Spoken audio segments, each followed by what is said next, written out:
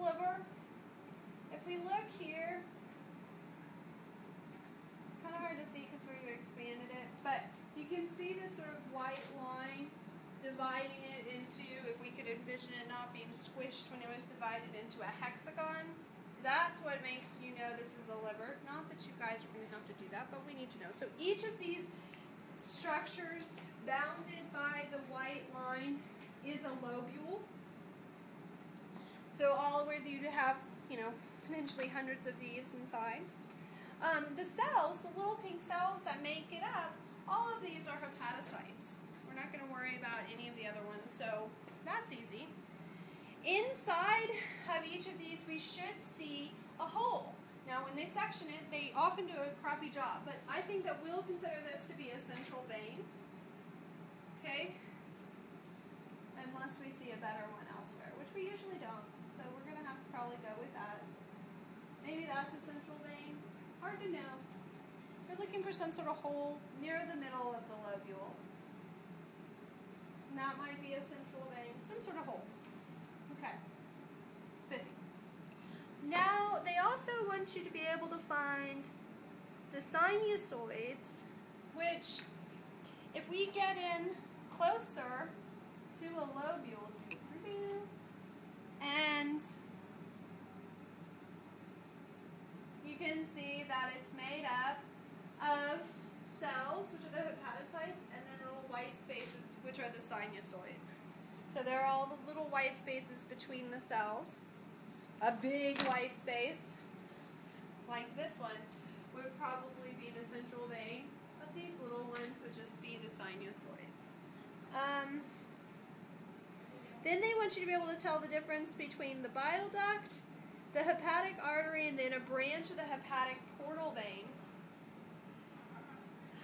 Um, I think the picture that we have is the best. The hepatic portal vein, they form a triad near the edge of the lobule, so here it is. This guy is definitely the hepatic portal vein. It's always big, mal-shaped, all that good stuff. Then you're looking for um, the hepatic artery to look like a typical artery. So it might be this one over here. We can get in closer and see. But then a bile duct will have a bigger round uh, a border to it. And let's see what it looks like if we get in another layer. Oh no, that's not one. We get in closer. And this is where this starts to fall apart because it's not necessarily the best.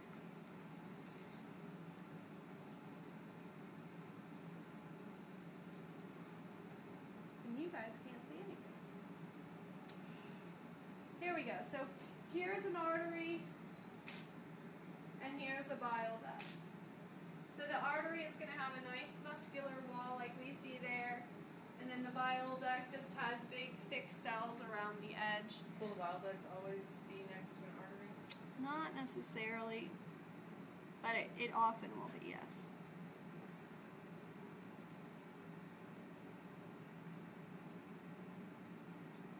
Here's a really clear bile duct. Now we can see the difference. And see, now that's why I should never speak until we get in really close. Um, where the hell did it go? Aha! Here is a bile duct. Here's the nice cells. And then actually, now that we look closer, we can see both of these are arteries.